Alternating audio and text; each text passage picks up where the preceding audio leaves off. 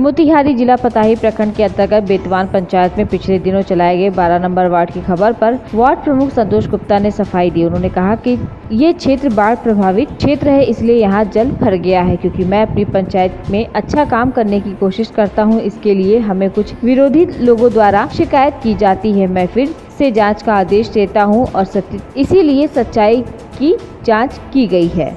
तो वहीं उन्होंने बताया कि हमेशा कार्य को लेकर जागरूकता मेरे अंदर रहती है। पानी हटने के बाद थोड़ा बहुत जो भी कार्य बाकी लगा हुआ है, उसे दोबारा करवा दिया जाएगा। बेतौना पंचायत अंतर्गत खुटौना, बारह नंबर वार्ड भवन राज जी के पास में पहुँचा हूँ।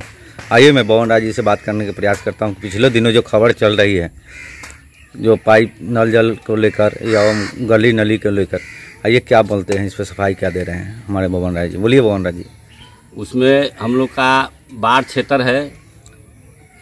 उसमें पानी आता है सर सारा काम हुआ था पानी चालू था बाढ़ आया पूरा तोड़ ताड़ दिया। रोड पाइप भी टूटा है कुछ तो उसमें काम चल रहा है बन रहा है कुछ में पानी ज़्यादा होने की वजह से हम लोग अभी तक विलम्ब कर रहे हैं सर। ये सब है अब बाकी गली नली जो काम है उस पर काम चल रहा था फिर अभी मट्टी उट्टीकरण हुआ है पूरा दहा गया बाढ़ आया था। अब नहीं होने की वजह से काम कुछ रुका हुआ है। और वार्ड बहुत लंबा चौड़ा है दो गो टोला है। एक टोला के नल जल चल रहा है उस टोला पर तो क्या हुआ पाइप टूटने की वजह से पाइप रुका हुआ है अभी का काम उस पर पानी होने की वजह से। तो हुए एक दो दिन में हम लोग पानी नलका चालू कर देंगे। धन्यवाद। जो खुटौना टोला में ब्रह्म स्थान से जो खुटौना टोला जादव टोला में जो जाती है रास्ता उसमें अतिक्रमण के चलते लोग उस रोड को खराब कर दिया हुआ है। रास्ता है, मगर वहाँ लोग नाद भैंस बांधते बांधते हम कितना बार भी कहें, मगर कोई लोग सुनने के लिए तैयार नहीं। वहाँ पर हम लोग को आज भी कहे हैं से भाई, इसको साफ़ सुथरा करो, फिर अपने आप रोड बन जाएगी। मगर लोग वहाँ सुनने के लिए तैयार नहीं है और अपने रोड को अतिक्रमण किए हुआ है और हमसे बनमाल इस बात को कर पा रहे हम क्या कहें? जब ये लोग साफ़ करें तो फिर हम रोड बनाने के लिए ये आशंका देंगे, फिर भी उसके लिए हम लोग तैयार हैं। धन्यवाद, सर। मेरा नाम संतोष कुमार गुप्ता ग्राम पंचायत बतौना का मुखिया हैं। और पताही ब्लॉक से हम आते हैं।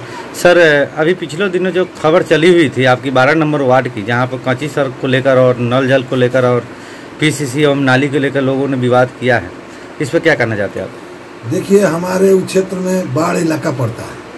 वहाँ पर कितना हो कुछ भी डाल देते हैं बना देते हैं। अभी अभी तत्काल में मैंने तो अभी पंद्रह सोलह सत्रह हज़ार रुपया दिया हूँ जो उसको भर कर फिर जरा फिर बाढ़ आ गया, फिर वो बह गया।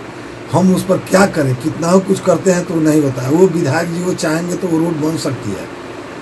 मतलब वो बना देंगे तो हम लोग का वो छोटा टोला है, उसका विकास हो सकता है। कितना हो हम लोग उस पर कार्य करते हैं, पानी आता है, बाढ़ है इलाका वो तो बह जाती है सर जनता के लिए क्या करना चाहते हैं? जो वहाँ के जनता परेशान है तो आप क्या करना चाहते कैसे उसको संतुष्टि करेंगे कि किस प्रकार से आप जनता के लिए तो हमने फिर कहे हैं सर भाई अब अति आता है तो हम विधायक जी से बात किए हैं विधायक जी भी आश्वासन दिए हैं से हम उसको रोड को बनाते हैं। तो ये ये जनवरी फरवरी में इस बात का वो कहे हैं से हाँ बन जाएगा। मगर वो जौले नहीं बनेगा तो वहाँ बाढ़ इलाका हुआ एरिया है। जब तक वो रोड नहीं बनेगा उसमें पुल नहीं बनेगा तब तक कोई हो ही नहीं सकता है। कितना हम कुछ भी बहुत विकास करा है बहुत काम उसमें करे। माटी भरते हैं रोड़ा गिरते हैं सोलिंग करते हैं सब बाढ़ आता है सब टूट जाता है। हम क्या करें उसके लिए? एक छोटा सा वो टोला है एकदम पूरा नदी के अथी में है तो हम क्या कर सकते हैं? बोलिए हमको क्या करना होगा? हम लोग को यही कहते हैं से भाई अब रुको ये रास्ता बन जाती है तो इसके बाद में हम जो होगा सो हम उसको बनेंगे जो भी अहम प्रयास होगा आप करेंगे। हाँ जो होगा सब प्रयास करने के लिए। धन्यवाद sir, TV one India news पर बात करने के लिए आपको बहुत बहुत बधाई। मोतिहारी से मनोज दास की report TV one India news.